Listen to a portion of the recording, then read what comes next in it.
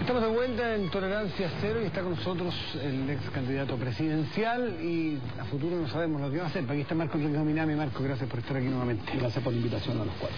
Presidente del Movimiento Progresista. ¿En cuántas regiones está ya tu movimiento? Está en ocho, va a estar yo creo en pocos días más. Acuérdate que hay un plazo Sí, sí. final, yo creo que en 12. Eh, y nos ha costado un mundo, no porque la gente no quiera firmar, sino porque recuerda tú que es ante notario. Lo que hace muy difícil, muy difícil eh, la inscripción de una... En ocho regiones, de 15 creo. De ¿no? 15 seguro y ya Sí. está. Y ya presentamos, es que es más complicado, ya presentamos, estamos en 10 para decirlo, vamos a estar en 10 muy A, pronto. pa- a partir de esa presencia ya en, en buena parte del país, me gustaría que de manera sucinta tú me dijeras cuál va a ser el eje de la estrategia municipal, que es la próxima elección que vas a enfrentar, ya con un movimiento más hecho partido, más, más, más robusto.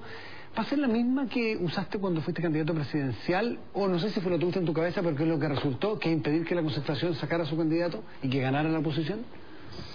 No, eh, no a varias cosas. Eh, no fue así. Lo que ocurrió... El resultado menos Nunca hubo ninguna encuesta que mostrara que usted ganara ni en primera ni en segunda. Por tanto, la verdad es que es un poco lo que pasó en Francia. En eso las encuestas en Chile no se equivocaron. Piñera siempre iba a ganar. Es una discusión que es del pasado. Pero voy a ir al no respecto que no va a ser la misma estrategia. No, no va a ser la misma estrategia porque es una elección completamente distinta. Por de pronto es dual. Tenemos alcalde uninominal, primera mayoría, sí, segunda vuelta. Lo que genera una controversia bien fuerte. Parecía la presidencial, pero después tenemos los concejales, que es una elección completamente distinta. Y sí, va a ser una enorme oportunidad para nosotros para demostrar un camino distinto al que ofrecen las demás coaliciones y también para expresar la profundidad de un proyecto que encabecé en 2009, que continúa, que se profundiza, ya lo dije, que madura, que precisa y hace foco en algunas cosas. Yo recojo el guante de lo que estaban conversando antes. Creo que el tema municipal pasa, algo de los vozaron ustedes, entre el desequilibrio entre concejal y alcalde. Es un tema muy árido, eh, aunque parezca increíble, elecciones locales y cercanas a la gente son vistas como mucho menos interesantes. De hecho, votan menos los chilenos en las elecciones locales. Sin embargo, son claves para efectos. Lo que les afecta. eh, plano regulador, un conjunto de temas. Yo sí creo que la elección municipal va a ser gravitante, no tanto respecto a lo que puede ocurrir en materia tributaria, en un conjunto de materias que son relevantes son las reglas de Chile, que es mi desafío, es mi combate, cambiar las reglas de esta sociedad. Sí va a ser relevante para efecto del financiamiento municipal, Fondo Común Municipal, la ley de rentas 3. Quiero recordar eh, que la ley de rentas 2 nos impidió, por ejemplo, a los chilenos el que el San Giorgio, un colegio del cual yo estuve, por lo demás, pagar un impuesto adicional. Eh, supuestamente porque era un pulmón para la ciudad. Lo mismo que el Club de Golf Los Leones. Hay una discusión pendiente en Chile respecto a las rentas, respecto a la distribución igualitaria y equitativa de los fondos municipales. Está el tema de la píldora del día después. Según Flaxo, hasta hace pocos años, todavía un 40 casi por ciento de los municipios no distribuía la píldora del día después. Es una sociedad laica, una república Marco. independiente, y eso que no, para no meter el dedo en la llaga como el 2009, pero debo decirlo, que no eran solamente alcaldes de la UDI, Mm. eran también alcaldes de la concertación. Me gustaría saber la estrategia municipal. La estrategia municipal va a ser competir donde más podamos con eh, datos que son fundamentales, sin eh, ánimo de eh, achicar el desafío. Este es un movimiento que tiene un año legalizado. Vamos a competir con partidos que tienen 80 años, 60 años, 50 años, 20 años. Es una elección en que yo no voy a ser candidato. Es una elección en que son 2.200 concejales y por tanto vamos a competir donde más podamos. Y las cifras al día de hoy son 1.000 candidatos propios ya inscritos con sus certificados de antecedentes, eh, 100 candidatos a alcaldes, o sea, ya en un tercio del territorio en materia de alcalde. Disculpa, aquí tengo solamente 100 candidatos a más alcalde. podamos? Es una cosa, eso es cuantitativo. En Sí. Lo cualitativo, ¿dónde? Santiago. La Florida. Puente Alto, las comunas grandes. Yo entiendo ser la labor del periodismo buscar donde hay sangre, pero mi convicción es que para mí es tan importante Arica como Putre, como es Iquique, y vamos a estar en todas las comunas donde más podamos. Te puedo decir desde ya que tenemos enorme probabilidad en Arica, que es una comuna donde, además de Urrutia, que es un gran tipo, hay una situación que Mm. hace muy fácil encarnar el cambio. Eh, está preso. Pienso en Hualpén, pienso en Concepción, pienso en Puerto Montt con Raúl Oliva, Pero en siempre muchas la comunas. fotografía del día siguiente a las elecciones municipales es en el balcón de la Plaza de Armas, quien ganó la alcaldía de Santiago.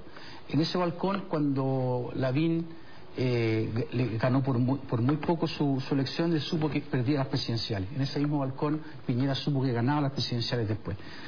Si tú llevas un candidato en Santiago, la pelea entre Carolina Toá y el alcalde Salaquet cambia. Puede ser decisivo eh, ese candidato. ¿Tú vas a llevar candidato en Santiago o no? ¿En quién estás pensando? Yo creo que la sociedad chilena es una sociedad de castas, una sociedad clasista y llena de privilegios que hay que redistribuir. Y el desafío entonces es dar la pelea donde se pueda. Sí, en Santiago Centro vamos a llevar candidato para encarnar nuestro proyecto. No le reconozco el monopolio de esa silla, ni el monopolio del cupo a Salaquet ni a Toa. Y en concreto, no nos sentimos los progresistas represen- representados por eh, Pablo Salaquet, un alcalde que fue implacable con los estudiantes respecto a un conjunto de demandas legítimas. Y tampoco me voy a sentir representado por eh, alguien que fue diputada y que fue también implacable con quienes decíamos en 2008, con razón hoy día, teníamos la razón también antes, que la ley no iba a solucionar el problema. Entonces, con una diputada que traicionó a los estudiantes, con un alcalde que ya tienes nombres, apaleó a los estudiantes, tenemos muchos, muchos nombres en todas las comunas cristianas. Santiago, ¿puedes? Muchos, no, porque me parece a mí mm. que es parte de nuestro proceso de construcción distinto. Hay comunas en que hemos hecho un trabajo programático que tiene suficiente densidad para ser anunciado, como el caso de Raúl Oliva en Puerto Montt, Arica, las comunas como, eh, en fin, Cerro Navia, hay un conjunto de comunas, y hay otros donde efectivamente estamos ya trabajando. Ahora, me pasa como todo eh, movimiento emergente, que estamos construyendo la precariedad. y eso significa hoy día un conjunto de problemas, como que leo por los diarios los candidatos que se me anuncian por los diarios. Que a este va a ser candidato nuestro, quiero decir que sin ánimo de desmentir ni abrir polémicas que no le interesan, creo, al grueso de los televidentes hoy día, sí vamos a estar presentes en Santiago donde más podamos. Esa es la respuesta. La estrategia va a ser de construcción mirando eh, con serenidad un dato que es fundamental. Yo y eso sé que vamos a tener probablemente una diferencia muy de fondo acá. Pero Chile sigue siendo un país muy pobre y que la línea de corte de la pobreza es impresentable, es de 64 mil pesos. Vale decir que en Chile quien gana 65 lucas no es pobre. Y por tanto no me siento representado, por supuesto, por la alianza, pero también por la concertación que se ha negado, por ejemplo, a reajustar esa cifra, que genera una, una falsa realidad. Por ejemplo, que en Chile, Fernando, tenemos 15% pobre. No es cierto. En Chile, si usted reajusta un mínimo la línea de corte del consenso de la CEPAL del 89, usted si lo acepta en 102 mil pesos, el estudio que hemos hecho, te da un 30% pobre. Harto distinto a la sociedad que conocemos, si asumimos que este país es más pobre. Y por tanto, nuestros líderes tienen ese compromiso y le hemos puesto por delante, usted lo puede chequear en la web, que el programa está por delante.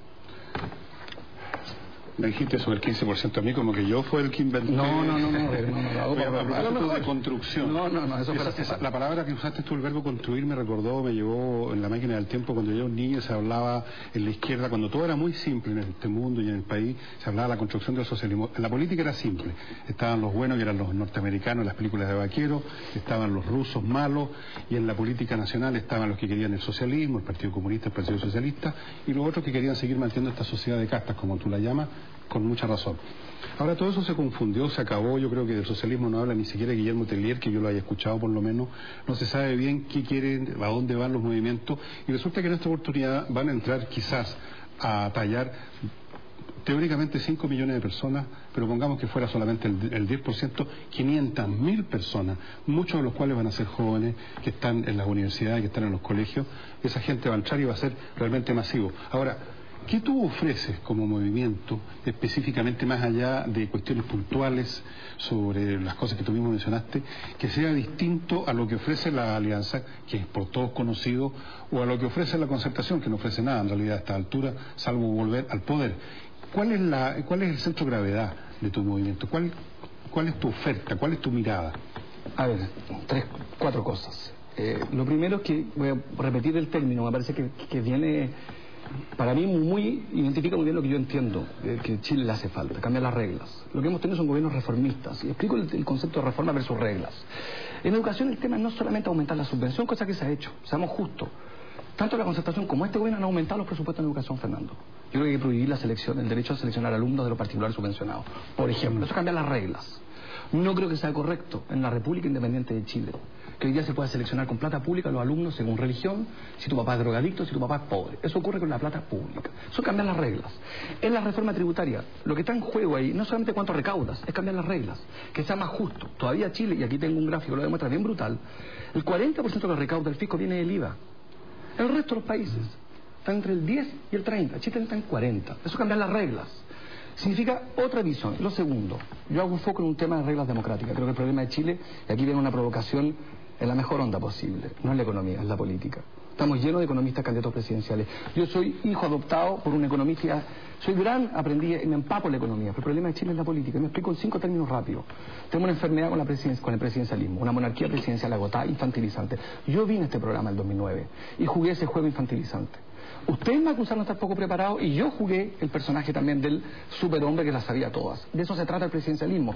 Un hombre, un pueblo, un sueño, una elección. Yo no creo en eso, creo en una figura distinta. Segundo, creo en un país federal. El TAME de Chile y creo que en Aysén yo vi un pedazo del programa que estuvo aquí. Creo que el tema de Aysén no es cierto que haya sido un gran éxito. Aysén obtuvo un subsidio. Aysén no cambió las reglas del problema de las regiones, de la desigualdad territorial que significa en Chile. Tercero, la ley electoral. tenemos que eliminar por de pronto el Senado, necesitamos un Parlamento unicameral. Es una revisión sustantiva de la ley electoral, propongo proporcional competitivo no los quiero aburrir. Cuarto, ley de partido. Recojo, Fernando, lo que dijiste antes. No hay nada más grave que darle la espalda a, los partidos. Yo fui candidato independiente. Conozco las bondades y las debilidades de ser candidato independiente. Hoy día he creado un movimiento. Pero la verdad es que les pido a ustedes que me muestren un país que una democracia que funcione sin partido. No pueden tener monopolio en la acción pública, pero no existen. Por tanto, son parte del problema y parte de la solución. Y en televisión, y los fácticos y los empresarios poco hablan de partidos. Quinto, modernizar el Estado. Hago foco en el tema de cambiar las reglas de la democracia. Creo una democracia electiva que no es efectiva. Creo que la democracia representativa está yendo al carajo y a mí no me produce alegría. Hay que avanzar por la democracia participativa, es decir, plebiscitos vinculantes, referéndum revocatorio, iniciativa popular de ley. Al lado de eso, una democracia directa. Se supone complementar lo que los griegos pensaron, hoy día es completamente insuficiente.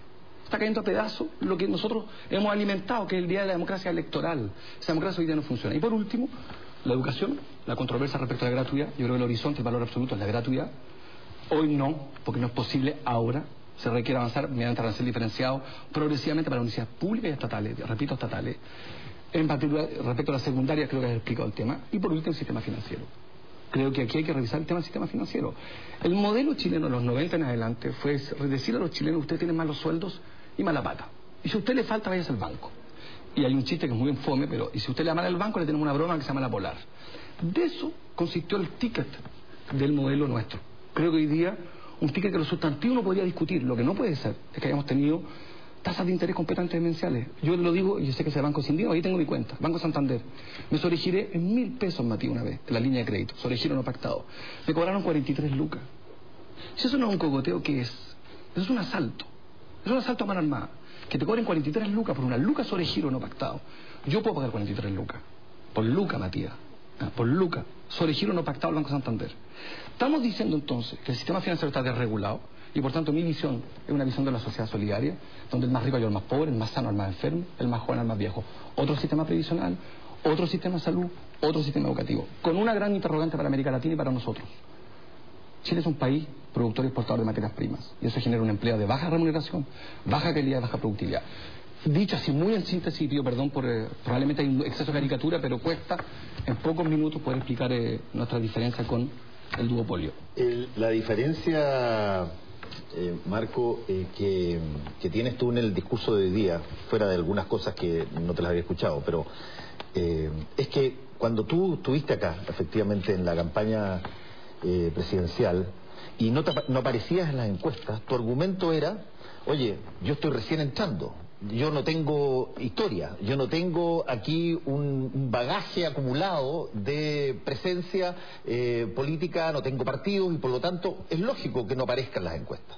Perdiste en eh, la primera vuelta y hoy día sigues apareciendo bastante disminuido en las encuestas a pesar de que después del 20% que sacaste en primera en primera vuelta, hoy día en la última encuesta que sacaste tú... Eh, siete me parece. Que más o menos siete, es bastante respetable. Sí, pero bajó en relación a enero. Es lógico. Entonces, mi pregunta es, ya que tienes dos años y medio y que tienes una experiencia, ¿cuál es la explicación que tú te das para que la gente siga valorándote tan poco? Yo, primero hay una frase de un presidente que es muy buena, la digo mucho, aunque las encuestas son como los perfumes, ¿eh? son ricos doler, pero no hay que tomárselo. O sea, hace mucho rato que yo no me, no me angustio. Hay una encuesta que me dio el 1% cuando yo marcaba el 26% en alguna, en 2009.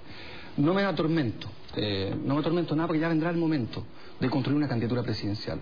Llevo dos años haciendo algo que es profundamente impopular, que va contra el sentido común. Cuando nadie quiere los partidos, construye un partido. Cuando nadie quiere que alguien construya un artefacto electoral adicional, yo construyo uno. Cuando además, seamos bien francos, eh, en televisión, ¿ustedes cuántas veces me han visto? Muy poco. Me ha, costado muchísimo, es un problema de oferta y demanda. Problema de mi propia incapacidad o también decisión. Estoy mucho menos disponible para volver a la vieja pelea que me permitiría salir, créame, mucho más en televisión. Cuando me agarra a Coscacho con Andrés Saldívar salí en todos los diarios, hace exactamente cuatro meses. O sea, si me agarro con escalón esta noche soy trending top cuatro veces. Tengo las peores opiniones sobre mucha gente, no las voy a expresar de la peor manera porque también hay un proceso de maduración. Y ese proceso hace que uno es mucho menos sexy, que tengo mucho menos probablemente atributos que hoy día son eh, comunicacionales que no me interesa construirlo. Soy hombre de comunicaciones, vengo de las comunicaciones, conozco las reglas más o menos, cacho algo de esto y tengo que certeza que vendrá el momento en que mediremos proyectos presidenciales. Les puedo decir que de las encuestas que vi en la tercera, mm. el grueso de los que están ahí tienen una cantidad de programas de televisión que yo no tengo. El grueso. Mm. Sale en televisión harto más que yo. Y esto sin llorar. Es un problema de oferta y también un problema de demanda. Además alguien que decidió algo que es muy poco atractivo, poner temas. Yo 62 propuestas de política pública. Construir un programa. Es lo menos atractivo que hay. Aprueba Matías del Río aquí. No ha sido invitado en dos años y no hay ninguna queja. Problema oferta y demanda. Yo no estoy en la coyuntura Matías. O corrígeme